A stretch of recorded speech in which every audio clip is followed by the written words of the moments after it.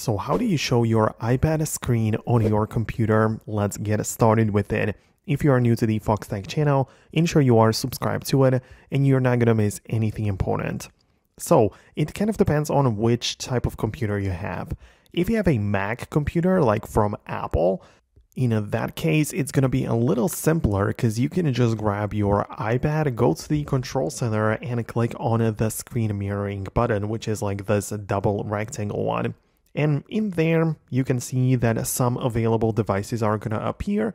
And if like the iPad and Mac computer are both yours connected to the same Apple ID account, you'll be able to see it right here.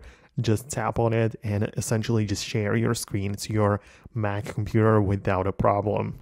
But if that doesn't work, or if you have a Windows laptop or computer, you will need to download an app which will basically do the same thing. It will behave like a receiver for AirPlay, which is this thing right here. And you can literally, for example, on your Windows, look up the AirPlay uh, screen mirroring receiver. You can just type that into the search and you'll be able to download some kind of software which will be able to behave like a Mac, right?